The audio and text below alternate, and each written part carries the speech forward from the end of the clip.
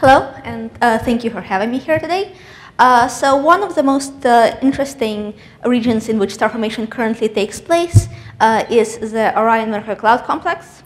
And uh, because it contains a perfect mix of proximity, uh, size, range of stellar ages, stellar masses, and stellar densities, Orion Nebula, where's right over here is the probably the most famous part of it, but it's just a small part of a much larger structure that spans over 100 parsecs in the plane of the sky alone, and it contains several distinct stellar populations with uh, some are very young that are still associated with molecular gas, and some are much older with an ages of uh, up to 10 million years.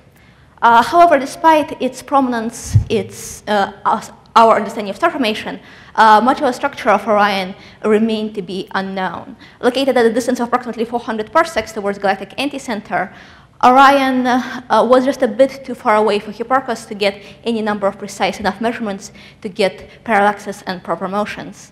Uh, Bertha has been on the site of radial velocity surveys. Uh, in the last decade or so, there have been uh, several thousands of stars for which we were able to obtain RVs with various studies, but most of the efforts have been focused just on the Orion A molecular cloud with relatively sparse coverage of all the other regions. Uh, this year, though, there have been two changes on both of these fronts.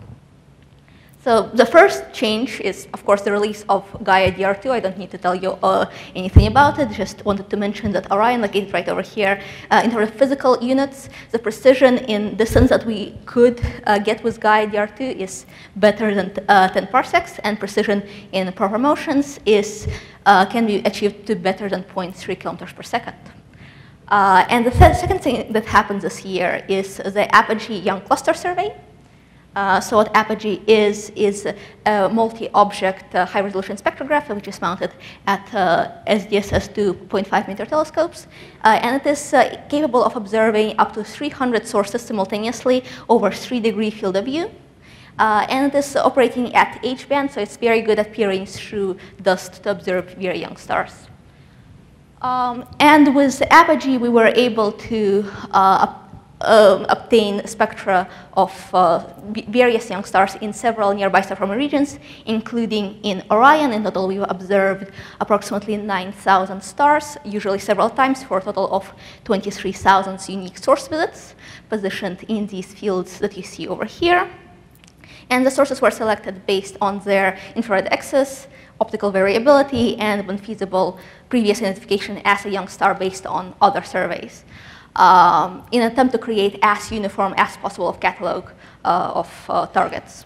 Uh, and these data are highly complementary to Gaia because they provide not only uh, the missing component of motion, which is radial velocity with very high degree of precision, better than a 0.5 kilometer per second usually, uh, and uh, also we can get effective temperature, surface gravities, rotational velocities, metallicities, and much more. Um, so let's put all of these data together. Let's uh, combine Gaia and Apogee. So we've downloaded all the um, Gaia data towards Orion. Uh, oh. Uh, providing a few sensible uh, cuts in parallaxes and proper motions and radial velocities when feasible. We've also added a few cuts in the color magnitude space to get rid of the obvious main sequence stars and red giants uh, remaining with samples that is primarily consist of young stars in Orion, and here where they are positioned in the photometric and in spectroscopic space. And uh, just looking at the distribution of uh, all the sources that we are left with, uh, the structure of Orion is already starting to become quite apparent. However, there is still uh, not inconsiderable degree of contamination from the field stars, uh, plus, there's just so much data and in so many dimensions that it's starting to uh, become quite overwhelming trying to make sense of it all. Just how is everything associated with each other? Just looking at it in a two-dimensional projection can be di quite difficult to distinguish. Uh, so in order to better make sense of it all, uh, we've ran all this data through a hierarchical clustering algorithm. And how hierarchical clustering works is First, you uh, measure distance from all the, uh, all, the all the sources to all the other sources, and then you find the shortest distance, and the second shortest, and third shortest, and so on and so forth, until all the sources in your catalog are connected uh, with a minimum spanning tree like you see over here. Then what you need to do afterwards is to figure out a place where you should cut all the branches. So you end up with the groups that are neither too small nor too large in order to be able to trace the dominant structure uh, in your data. And it is possible not to, to, do it not just in two dimensions like you see here in this image, but also in as many as you want. So in our case, six dimensions, three dimensions of position and three dimensions of motions. And by tinkering with exactly how you define the linking length, you can also include the sources which have missing data, that is, they have been observed either with Apogee or with Gaia, but not with both. And using this technique, we were able to deconvolve the Orion complex into 200-ish clumps. Uh, so this panel shows the characteristic size of each clump that we deconvolve, and this panel shows their characteristic velocities. Uh, and they are color-coded based on the larger structure that they inhabit. Uh, so green is Orion A, yellow is uh, Orion B, blue is Lambda Ori, cyan is uh, groups that uh, contains sigma Ori, even so it has relatively little molecular gas remaining. Uh, we extend the naming convention for the molecular cloud and refer to it as Orion C. And the C, uh, red structure is we refer to as Orion D, which is located in the foreground to everything else. It traces quite closely the distribution of the belt stars, other notably bright OB stars in the regions, and stretches as far down south as Rigel. Uh, and it's quite interesting that it is uh, overlaps so closely in the plane of sky uh, with Orion C, but uh, it is very different in radial velocities and in distance. Uh, but in terms of the ages, uh, they are rather similar as well, which is why we, they haven't been distinguished up, to, up till now. And we also recover this uh, small group uh, east of Orion A, which is much older than anything else, with an age of over 10 million years. Um, and the spatial is continuous from everything else, including Orion D, but it's not all that massive. Though. In terms of proper motions, I don't have much time to go into them, but in Orion A, we, in L1641 filament specifically, we don't recover many sources that are associated with molecular gas. Rather, we get uh, sources that are located slightly north of the filament, and they're moving perpendicular to it towards the molecular gas. In uh, uh Orion C, there's very a lot of curious fluid dynamics happening, with sigma Ori moving away from everything else. There is uh, a hint of a possible bubble over here. And probably the most interesting one is Lambda Ori.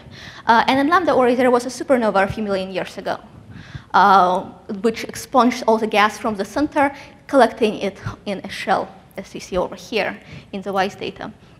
And the stars that are located in the center of the cluster, they are much older uh, than the stars that are closely uh, associated with the gas shell. Uh, looking at their overall proper motions, uh, all the stars are moving uh, pretty much radially. This plot shows the offset uh, in position angle from the purely radial direction.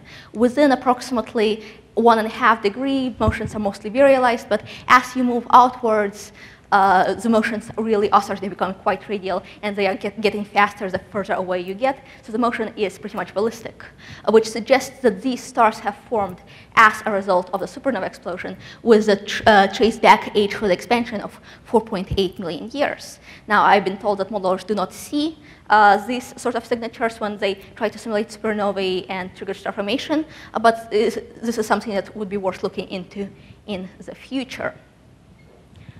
Um, additionally, since lambda Ori has such a great degree of uh, spherical symmetry, we can look at the circular component of the velocity in addition to the radial component. Uh, so it looks like as we move further out to, from the cluster center, uh, the rotation uh, changes from predominantly counterclockwise to predominantly clockwise. Probably something also to do with the explosion of the supernova. And also we can estimate the total mass of the cluster using these circular velocities. Uh, the red line is the best fitted estimate of the virial mass. And we can also estimate the mass by simple accounting of adding up all the mass that we have in the stars that we can associate with lambda Ori, which is what this blue line shows. So the difference between this red line and blue, this blue line is approximately a factor of four. So we, from this, we can probably estimate that either we are missing a lot of mass in the stars or uh, the mass in the gas and dust uh, that is left over in lambda or in, in ionized phase is approximately a factor of three that of the mass of the stars. Uh, so this is just an example of what is possible to do with this data set. And of course, there's much more science that would be possible to do. And I just wanted to highlight a few uh, other people from our collaboration uh, who are here in the stock, uh, in, in, this, in this conference. In particular, Kevin Covey. Uh, he will have a talk on Thursday. Um, focusing a lot on the Apogee data, and also Genaro Suarez and Serena Kim, uh, they, they have a poster, so please do check them out. Uh, so just to summarize, uh, Apogee and Gaia are incredible data sets uh, that are unprecedented in the precision, uh, and the volume of stars with precisely measured kinematics. And as much as we've already learned from Orion in terms of star formation, uh, we still have so much yet more to learn about large-scale dynamics. Thank you.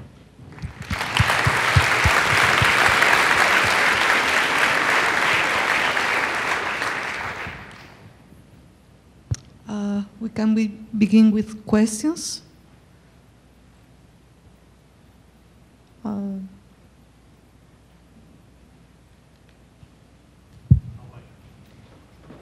so I, am sort of overwhelmed, Scott Wolk, CFA. I'm sort of overwhelmed by the length of Orion um, at 150 parsecs long relative to something like 30 along the line of sight or along the sky. So have you guys tried to figure out what that means about the formation mechanism?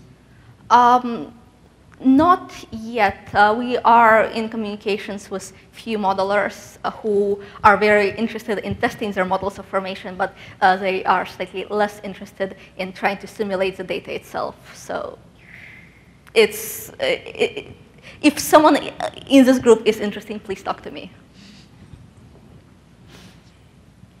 All right, Megan Reiter from the University of Michigan. Very nice talk. Thank you. I was wondering, do you have any information on the kinematics of the residual gas associated with Lambda Ori? Um, so in terms of uh, where stars are that are still closely associated with the gas, they are similar to each other within one sigma or so. Um, there are some curious uh, radial velocity structures when you get closer to the center. For example, we do get two different radial velocity components near the cluster center, which I don't know how uh, they probably could have formed. But uh, in terms of the stars that are still associated with molecular gas, they are similar enough.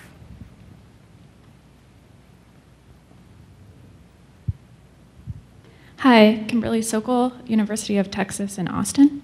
Um, so with this wonderful data, you were able to physically separate these substructures.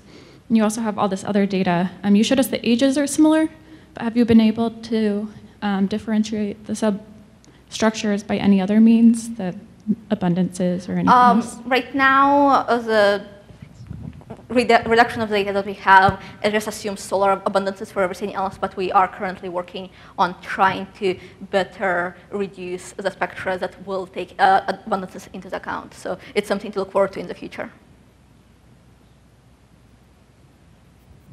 Any other question? So apogee was useful for the radial velocity component, yes, not yes. for the metallicity or uh, for other elements yet. Not yet. Not yet. Was the, we are doing slightly different reduction for the uh, data sure. because, than the main Apogee one because Apogee primarily focusing on red giants and young giants. stars have a slightly different templates. So we, it, it, it, it will be coming, but not yet. Okay, thanks. Uh, any other questions? Okay. Uh,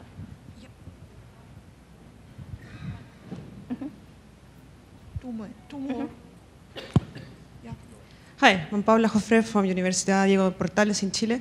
Um, I wonder when you make this clustering algorithm, you have different components that have different scales, so you must do a normalization. Mm -hmm. if it changed the clustering you would get when you play with these distance metrics. Uh, yes, so uh, in this case, all the um, all the position components and all the velocity components were first uh, scaled down by the standard deviation, uh, which is a statistically valid approach to handle these things. So you're just looking at the uh, predominant scales of things. Uh, by changing the scale, the results do change slightly, but you still recover the overall structure. Perhaps the exact membership might be slightly different, but the results should still hold.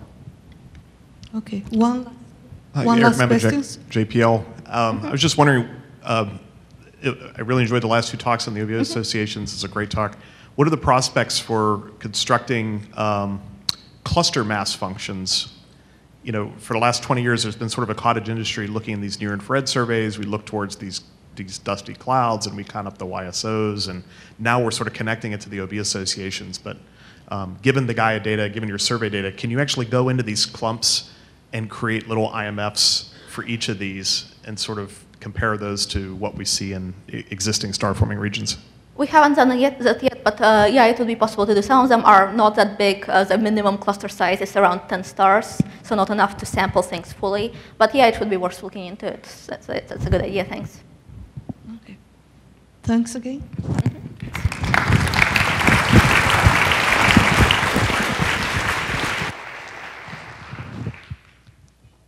Okay, our next